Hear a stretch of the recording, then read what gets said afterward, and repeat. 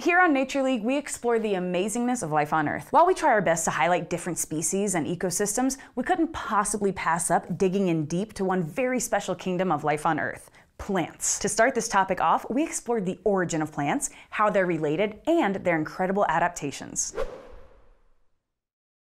Imagine a place on the surface of Earth. Unless you thought of a certain polar region or some very harsh deserts or mountaintops, that place contains some plants. And plants are more than just widespread. They're one of the main reasons that other species are widespread too. Plants not only provide oxygen, but serve as the ultimate food source for most animals on land. But if we're gonna talk about plants, there are so many more things to discuss than just what they do for other organisms. Plants are incredible in their own right and possess so many stunning adaptations and life histories that we could never begin to detail them all. So, for this plant theme lesson plan, we'll discuss some basic and advanced aspects of this remarkable group of organisms. Let's start with the origin story. Most lines of evidence suggest that land plants are most closely related related to green algae, and that both most likely evolved from a common ancestral alga. The first plants were most likely small and unicellular, much like their closest algae relatives. However, there are currently close to 300,000 known species of plants on Earth, and these now include all kinds of shapes, sizes, and varieties. Let's check out the diversity of plants by looking at one currently proposed phylogeny, or evolution and relationships of a group of species. The first split on the plant phylogenetic tree is between vascular and non-vascular plants. Non non-vascular plants lack extensive developed tissue systems that help move water and nutrients around the plants. These are commonly called bryophytes, or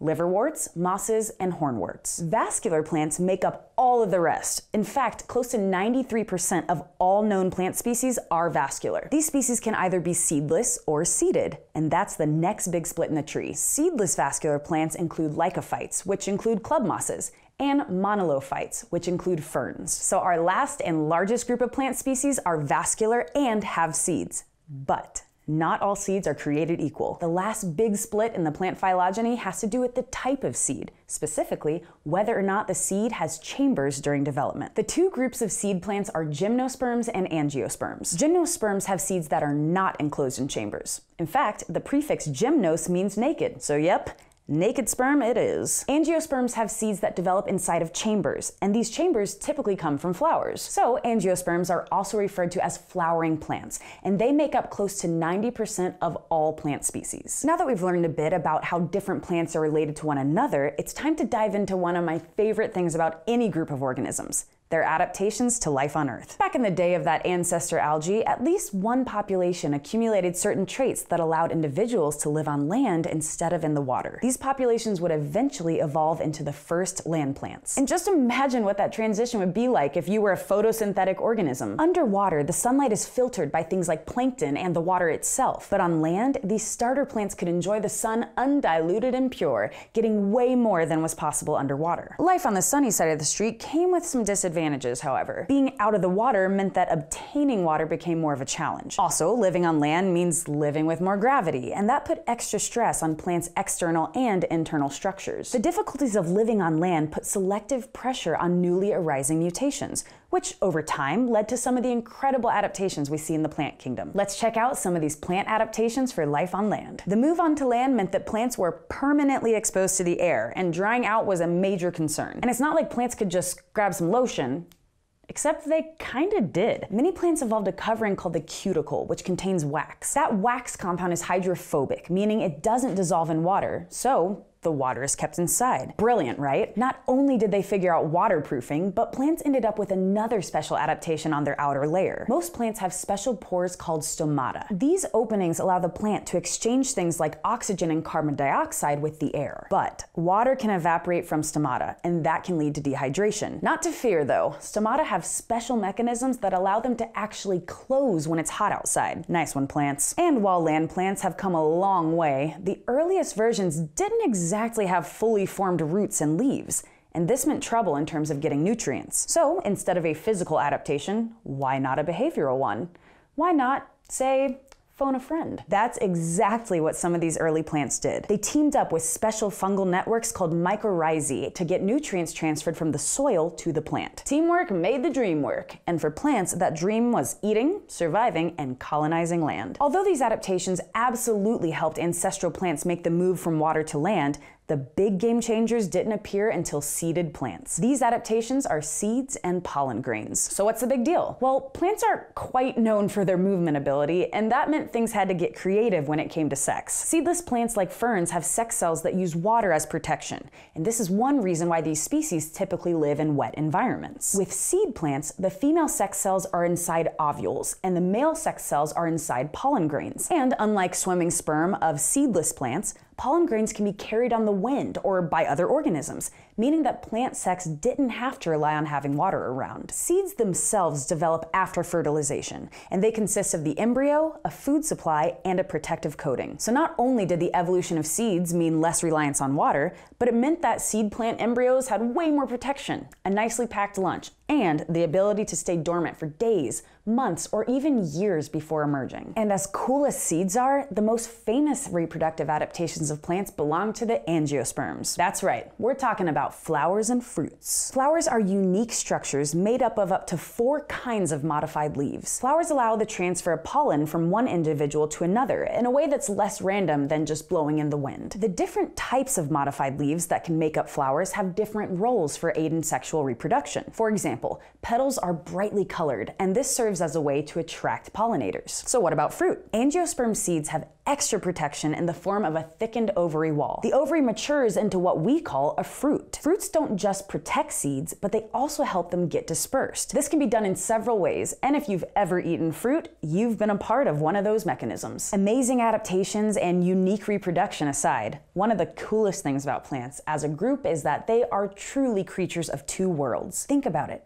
Unlike almost any other life on Earth, plants are simultaneously living above and under the ground. The parts of the plant above ground take in things like carbon dioxide, whereas the parts underground take in nutrients. The entire plant concept depends on living in both environments, which is insane when you consider that plants are so well known for their relationship to the sunlight. All of this, and we haven't even touched on the craziest thing. Plants eat sunlight and carbon dioxide and poop oxygen. What even is that? If you ever want to feel like a slacker, just compare yourself to what plants are doing just by pooping. Plants are absolutely amazing, and we look forward to exploring this theme throughout the month.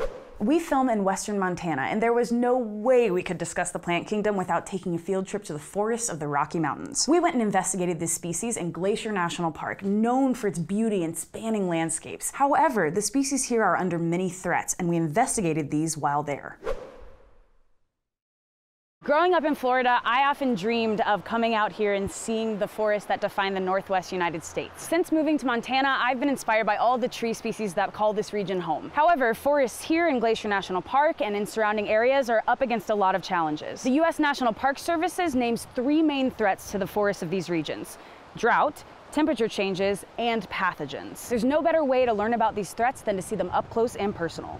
Glacier National Park is named for, spoiler alert, its glaciers. However, because of warming trends being seen globally, the namesake of Glacier National Park potentially will go away. Experts are predicting that potentially around the year 2030, all of the glaciers in Glacier National Park could be gone. Even though warming is being seen pretty much in all reaches of the globe, because of the latitude and also the geographical location of Glacier National Park, the rate of warming is actually happening 1.8 times faster here than the global average. Because the temperatures here are changing more rapidly than the global average, that means the plants and animals that live here are being forced to either move, adapt, or die. Plants in particular are being affected because unlike animals or other organisms that can move, plants pretty much stay where they are. And that means they rely on their water from things like the rain or the snow. With a warming climate, there's actually more rain than there is snow. Rain moves faster through the system, and that is leaving plants basically in drought conditions. In addition to droughts, changing temperatures, and fires,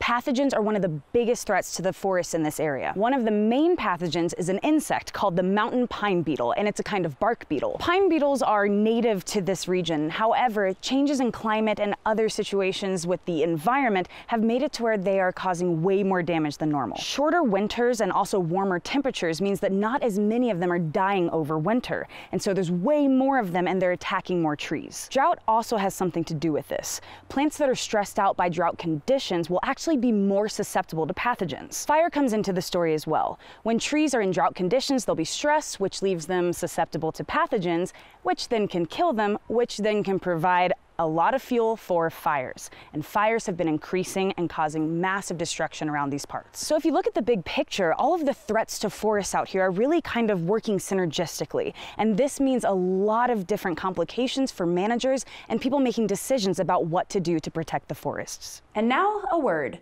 not from our sponsors, but from the dictionary. Welcome to this month's Wild Word. Once a month on Nature League, we'll look at the etymology, or origin and history, of words related to nature. This month's theme is plants, and there are simply way too many interesting etymology stories within this theme to just pick one word. So, for this month's Wild Word, we're doing a lightning round of some of my favorite plant names. Let's go. Daisy. This is actually a contraction of the Old English phrase dejizage, meaning day's eye, named for the fact that daisies open during the day. Tulip. From the Turkish tulben and Persian dulben, meaning turban, for the shape of the petals. Chrysanthemum. From the Greek chrysos, meaning gold, and anthemum, meaning flower, this is, in fact, a golden flower. Dandelion. From the Latin dens, meaning tooth, and leo, meaning lion, or more recently, the old French phrase dent de lion, which means lion's tooth. This name comes from the toothed leaves of the plant. Lavender. From the Latin lavare, meaning to wash, lavender was historically used as a scent for fabrics and baths. Eucalyptus. From the Greek prefix eu, meaning well or true, and calyptos, meaning covered, this describes the covering on eucalyptus buds. Basil. From the Greek basileus, meaning king, basil is believed to have been used in royal perfumes. Another option has to do with a mythical creature called a basilisk. Some myths note that basil leaves could cure a deadly gaze from a basilisk. In fact, in Latin, both the monster and herb are called basiliscus. Pansy. From the Latin pensare, meaning consider, pansies have been used throughout time as a symbol of thoughtfulness. Orchid. This one is good. From the Greek orchis, meaning testicle, this name comes from the shape of its roots. As you can see, there are some really fun word origins and histories of plant names. And with hundreds of thousands of plant species on Earth, there are way more stories than the ones we've looked at here. And all of that is pretty wild. The plant and forest communities out here in the Rocky Mountains are incredible. However, these systems are rapidly changing due to threats like changing temperatures, fires, droughts, and also pathogens. Some people view these changes as something to be mourned, while others view it as just another example of a system changing over time. Either way, the decisions facing forest managers in light of a changing climate are complicated. However, I think these systems are worth the time and effort required to figure it out. One of the most talked about plants on Earth is marijuana, both for human recreation and medicine. We next explored the theme of plants in a format called Denatured, where I broke down a popular peer-reviewed journal article on the effects of chemicals in cannabis on brain regions associated with psychosis. For this month's Denatured segment, we're going to look at an article released in August 2018 in the Journal of the American Medical Association Psychiatry. This month is all about plants, and in this month's lesson plan, we began by mentioning that most organisms on Earth depend on plants to live. Not only do plants provide oxygen to the atmosphere, but they serve as the energy starting point for many living food webs. But in the realm of human medicine, plants and their isolated compounds can yield much more than oxygen and food, especially in the case of cannabis. In this paper entitled effect of cannabidiol on medial temporal, midbrain, and striatal dysfunction in people at clinical high risk of psychosis, the researchers report the results of a new clinical trial that investigated how cannabidiol, or CBD, can affect individuals at high risk of psychosis. So here's what's already known. Cannabis is a genus of flowering plants, plants that have been used by humans for thousands of years for a multitude of purposes. Two well-known varieties of plants of this genus are commonly known as hemp and marijuana. Two chemical compounds have contributed to the well-known nature of cannabis plants. The first is cannabidiol, or CBD, and it's primarily found in hemp. The second compound is tetrahydrocannabinol, or THC, and it's primarily found in marijuana. While both compounds have the exact same molecular formula, THC is psychoactive, meaning it can create a high or euphoria. But what do cannabis plants have to do with psychiatry? That's where brain chemistry comes in. The reason our bodies react to CBD and THC at all has to do with the fact that human brains have an endocannabinoid system. Alterations in this system are associated with the symptom of psychosis, which can be generally defined as a loss of contact with reality. While some research has shown that regular cannabis use can be a risk factor for developing psychosis, especially in teenagers, these findings specifically refer to THC. The other compound, CBD, can actually have the opposite effect. In fact, some clinical studies have shown that CBD has antipsychotic properties for people with certain mental disorders. Despite a growing body of evidence that CBD can be beneficial to those suffering psychotic symptoms, scientists have yet to figure out how. To address this, the research team observed the effects of CBD on three specific regions of the brain in people at clinical high risk of psychosis. The first of these regions is the medial temporal lobe, or MTL, and its primary function has to do with new learning. The other regions are the midbrain and striatum, which also contribute to learning in the form of helping to encode and update information in our memory. To observe the effect of CBD on the brain, the team had participants perform something called the Verbal Paired Associate Learning Task, or VPA. Participants at clinical high risk of psychosis, referred to as CHR, were recruited, as well as healthy control participants who were not at CHR. For the purposes of this video, we'll refer to CHR participants as high risk participants to get away from being too bogged down in initializations. In this study, high risk participants were randomly assigned to a CBD treatment or placebo treatment. After taking the assigned drug, participants performed a VPA task while having their brain scanned using functional MRI. The healthy control group didn't receive any drug treatment treatment, but they still did the tests and the imaging. But what exactly did the VPA task entail? It actually has three separate testing conditions encoding, recall, and baseline. During encoding, participants answered yes or no to whether a pair of words went well together. So for example, sharks and awesome Definite yes. In the recall condition, participants were shown one of the words they saw during the encoding and asked to say which word it had been paired with. The baseline bit was a control of sorts where the participant looked at a blank version of the setup they'd seen during encoding and recall. The response of the brain during the VPA task was measured using fMRI. Specifically, the scan measured the blood oxygen level dependent, or BOLD, response of the brain. Basically, this allowed the researchers to measure the flow and composition of blood in the brain during the encoding and recall parts of the VPA task. Then, they could compare these responses to the baseline results. So what did they find? Overall, high-risk participants who were assigned a placebo had several regions of the brain activate differently than people in the control group. Similar to previous studies, these regions included the three thought to be associated with psychosis. The specific hypothesis the team was testing was whether participants at high risk who were given CBD would have a level of brain activation in between the activation levels of the control group and the high-risk group who were given the placebo. The team did find this middle ground activation in the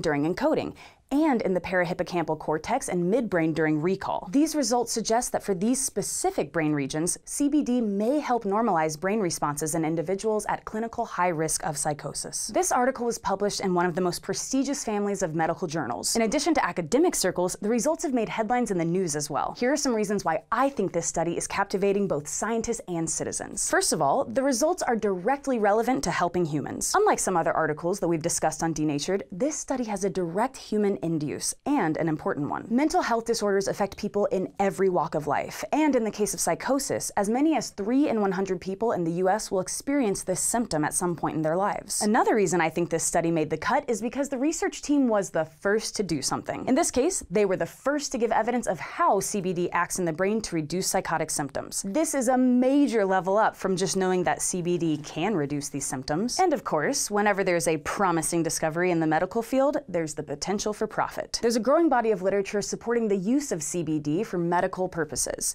and that means major money for those involved in supplying the product. In the United States alone, hemp-derived CBD is predicted to soon become a billion dollar market, and that's even without federal legalization. There is undoubtedly a lot of gain from using this particular plant product for medical treatments, and money is certainly part of that gain. The devil is in the methods section when it comes to issues in experimental design. However, this research team did a great job of removing potential potentially confounding variables and removing bias where possible. For example, the study design was parallel group, double blind, placebo controlled, and randomized. Randomization allows the researchers to remove the bias that comes from assigning specific people to specific treatments. It's picking names out of a hat instead of, say, because you like their asymmetrical haircut.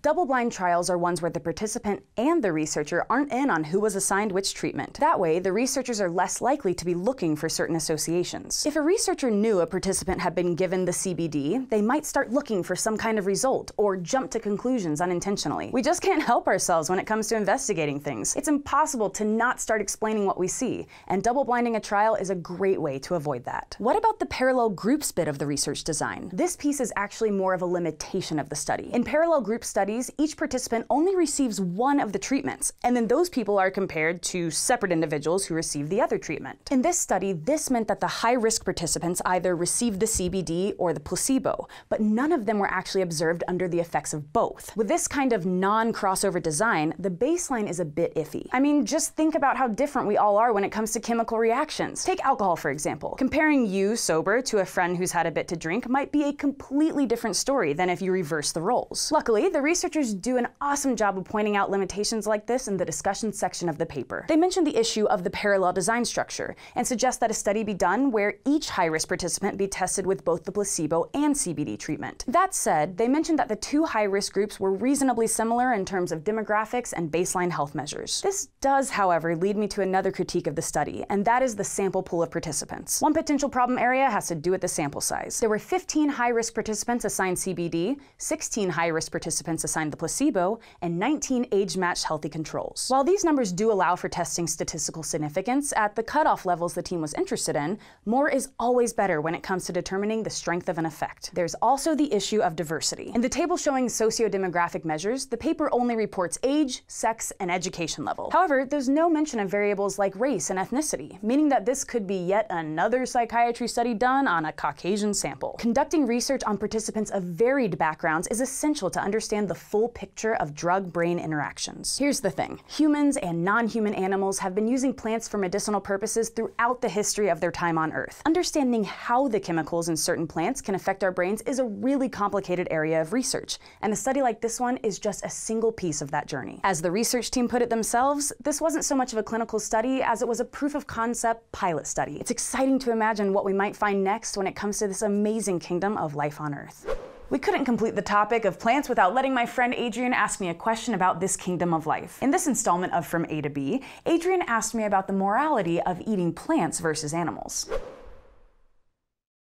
This month, we've been talking all about plants. You have a question for me regarding that group of organisms, yes? Yes. Why is it morally acceptable to eat plants when it's not acceptable to eat animals, huh? Plants uh, respond to stimuli just like animals do. They live, they die, they have babies, they uh, make oxygen and stuff. Animals don't do that. No, they don't. See? So what are animals doing? Pooping. You brought up some differences between plants and animals generally, but none of them to me were quite what might be at the source of the moral conflict. And the moral conflict has to be about harm. I think that when it comes to like suffering and harm, it really is a matter of pain. Would you agree with that? Sure, yes. We know that humans experience pain on a ton of different levels. Mm-hmm. We know the difference between uh, a scratch, a deep wound, a burn, a cut, uh, blunt force trauma. We feel all these things, and pain is very complex for us. But that might just be because our brains are really complex. What about those lesser organisms? How do we know that they experience pain on this level that humans do. So lesser meaning less complex? Yes. How do we know that they what they even experience is pain? How do we know they don't just you know that spider doesn't just go, "Oh man, I lost that leg." I'll, I'll use it to play golf later. It's cool. Well, probably because no spider's ever said that in the history of arachnids. That and, you've and seen. that you've seen. You're right. I'm being hateful. Spiderist. You mentioned different kinds of pain, and you were saying the differentiation that we can have like surface level and deep, and that is not actually coming from just the brain, but that is actually anatomically wired in. There's different um, act, literal infrastructure in the skin, in the dermis, uh, that tells us about deep pain versus, or not deep pain, but deep sensation mm-hmm. versus shallow sensation. And then from there, pain is, is caused because something disrupts a n- nerve, so nerve tissue. Sure. It's not just the complexity of the brain, there's complexity in the anatomy. So that's one of the things we see with a maybe more complex on the tissue level kind of an organism. The mm-hmm. fact that there could be differentiations in uh, the types of cell lines that are then able to receive. But the big, big piece here, I think, is nerve tissue. So nerve cells, nerve mm. tissue, and brain, which is where a lot of people are saying, oh, well, how can pain happen if there's not this, you know, not only like a central nervous system, something that's controlling and calling the shots, but also tissue that itself responds. Plants don't have nervous tissue or nerve cells in the same way that mammals do or some other mm. organisms. Mm. Plants are unique on every level, right? But plants are still doing a lot of really cool things. I know. You know, you watch a plant on uh, video camera and you speed it up, they're doing some crazy stuff, following the sun or closing their leaf petals because they're like, it's time to go to sleep. or whatever plants sound like. Probably that. Probably like this. Oh, look at me, I'm a hydrangea. I think you just brought out a, a good point about what plants are doing. You just named two specific things that you might see a plant do movement wise, which is uh, something called phototaxis, so moving toward a light source. You also mentioned something about like closing down, so sometimes there needs to be protection from both dehydrating because there's open pores in plants that then they can lose things like water. So there's all kinds of adaptations. But with pain, why does something feel feel pain? And by that I mean evolutionarily, what is adaptive about feeling pain? To retreat away from something that causes you harm. And do plants Move. hightail out of anywhere. They're rooted. So, in terms of adaptations and evolution, would it be advantageous for a plant to dedicate tissue and, and cell lines to being told to get out of there? That's a sick joke, right? They're like, I would, I'm trying. They just die. I have roots. Oh no. So what you're telling me is don't lay down roots. Get attached to no one. Live in a bunker in the woods. Live off the grid. So, the closest we see to movement is again to the sun, which there's adaptive there. Chasing food. Yeah, but then like Venus flytraps, that that the trigger, that, a That- trigger mechanism, right? That's not a brain or anything that's being like. uh, those are just little fibers on the inside. So, I would like to challenge us. I would like to challenge us to open our minds to the ideas of what a brain might look like if you don't have nervous tissue. Perhaps it is things like the little diddly those, right? Perhaps that is functioning like a nerve cell, like a neuron. There's also been work recently where we found that the signal received by one leaf on a plant can actually be transmitted to another. Totally. So there's a network. And what else is a nervous system if not a network of response bits? So, So TLDR, too long didn't read, for those of you who do. I didn't know what that Yeah, meant. anyway. So what you're saying is the whole plant is its own little brain. I'm saying it could be. I'm saying we should open our, our minds up to what a brain is, and then perhaps we get to a different place uh, in terms of what we believe pain might be, which then might inform these ethical and moral questions about causing pain to this versus causing pain to this. Because at the end of the day, pain is usually in the form of some form of tissue being impacted, and then you have chemical and physiological responses to that impact, Right. even if no literal impact happens if it's a mental and then a manifested, still there's reaction. We see plants react to all kinds of things all the time. I know, it's so complicated. They should really dedicate a field of study to plants. Here's looking at you, botanists. so I would say, in general, wherever those moral lines lie, there are certainly differences anatomically, physiologically, but also in our own minds and the way that we view and perceive things that happen in spaces and brains and bodies that we will never know from our own perspective. And that's kind of cool. So eat all the plants you want Yeah, and then throw your poop out the window. I don't endorse that. Get out of my camera. Plants are truly incredible, and the more we learn about this kingdom of life on Earth, the more we discover their amazing uniqueness. Thanks so much for watching, and if you'd like to keep going on Life on Earth adventures with us here on Nature League, make sure to go to youtube.com slash Nature League, subscribe, and share. Hey guys, we now have a Nature League pin on dftba.com. Click on the link in the description below to get yours.